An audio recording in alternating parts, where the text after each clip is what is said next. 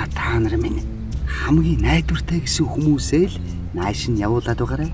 Нөгөө талынханд ам алдуу зай.